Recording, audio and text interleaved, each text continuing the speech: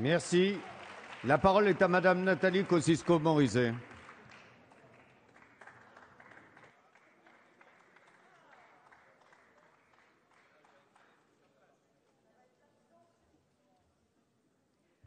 Monsieur le Président de l'Assemblée nationale, Monsieur le Président de la Commission, Mesdames les ministres, Mesdames et Messieurs les députés, chers collègues. Il ne s'agit pas ici d'être moderne ou ancien, progressiste ou réactionnaire. Merci. Il s'agit de répondre concrètement aux aspirations de couples de même sexe sans nier l'attachement de nombreux Français à l'institution du mariage comme union d'un homme et d'une femme dans le but de fonder une famille. Y répondre sans dogmatisme, sans hypocrisie, sans idéologie. Deux sujets sont imbriqués dans ce texte. L'union d'abord, la place des enfants ensuite. Maire d'une ville comme nombre d'entre vous, je célèbre des mariages, je rencontre les futurs époux, je partage leurs projets de vie. Et élu local, je rencontre aussi des couples homosexuels qui me parlent avec la même détermination de leur volonté de s'investir dans un projet commun et de le voir reconnu par la République. Cette aspiration est légitime et nous devons la pleine reconnaissance de l'union aux couples de même sexe. Le Pax fut une première réponse. Il a offert aux couples de même sexe un cadre d'organisation d'une vie commune, des droits, des obligations de soutien entre les contractants. Et nous avons voulu, lors du dernier mandat, son renforcement. Nous avons étendu les droits des paxés pour les rapprocher des droits des couples mariés.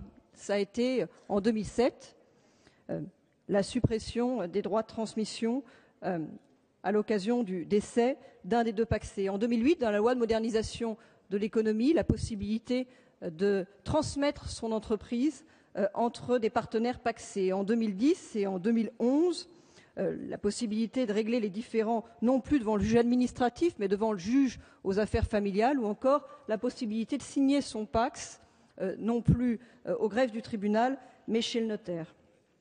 Personne ne demande aujourd'hui de revenir sur ce contrat.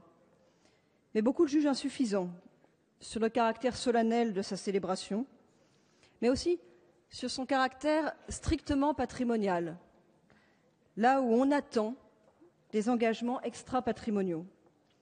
Et c'est le sens de notre proposition d'alliance civile avec Daniel Fasquelle, avec Axel Poniatowski, avec de nombreux autres collègues. L'alliance civile, c'est pour les couples de même sexe les mêmes droits que le mariage sans l'adoption. C'est la reconnaissance publique et solennelle en mairie de leur union.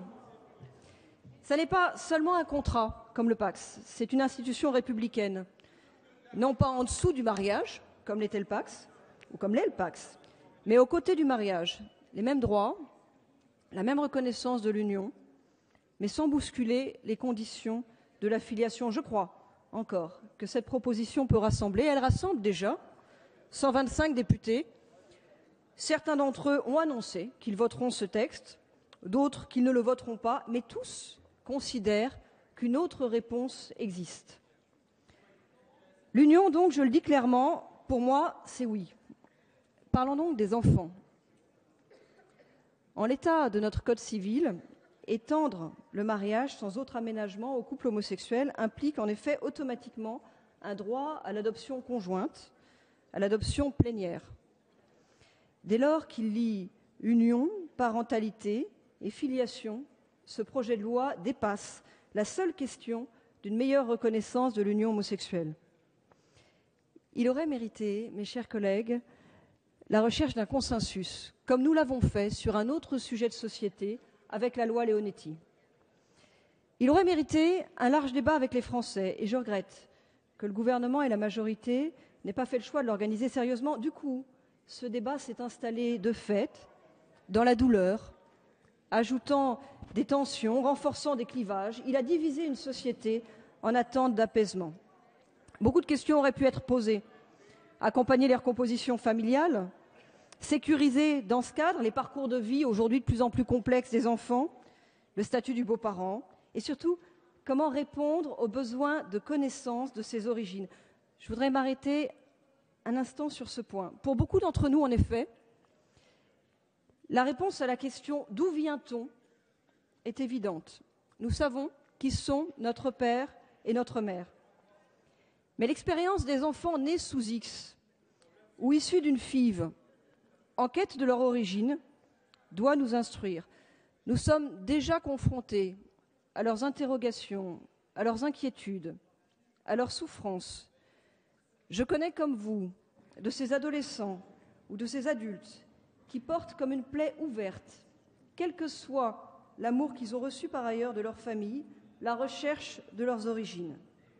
Et le législateur est régulièrement sollicité sur la levée de l'anonymat. La procréation médicalement assistée pour les couples de même sexe et la gestation pour autrui nous entraînent toujours plus loin sur cette voie. Et elles sont pourtant inscrites en petits caractères dans le texte et même en noir sur blanc, Madame la Ministre, dans la circulaire que vous avez signée la semaine dernière. Elles sont, je crois, la suite logique de ce texte.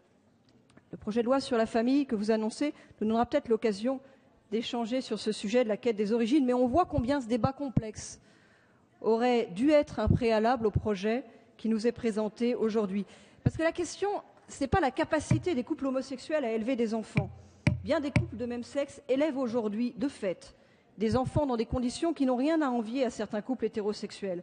Mais le sujet de la protection de l'enfant, mes chers collègues, il est plus large et il aurait mérité une réponse plus équilibrée. Personnellement, je crois à la réponse allemande, qui ne permet pas l'adoption conjointe des couples de même sexe, mais qui autorise l'adoption simple d'un enfant biologique par l'autre partenaire dès lors que l'autre parent biologique accepte de renoncer à son autorité parentale.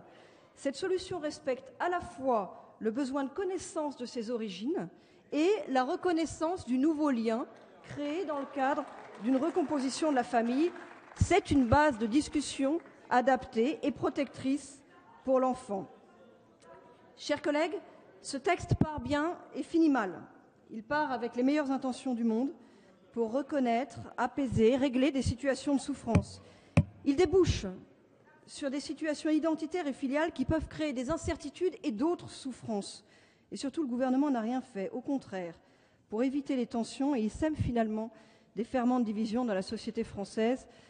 Mesdames les ministres, mesdames et messieurs les députés, il est encore temps de trouver la voie du rassemblement des Français, un rassemblement qui tiendra compte des réalités de notre société, toutes les réalités, et je proposerai avec d'autres collègues des amendements en ce sens.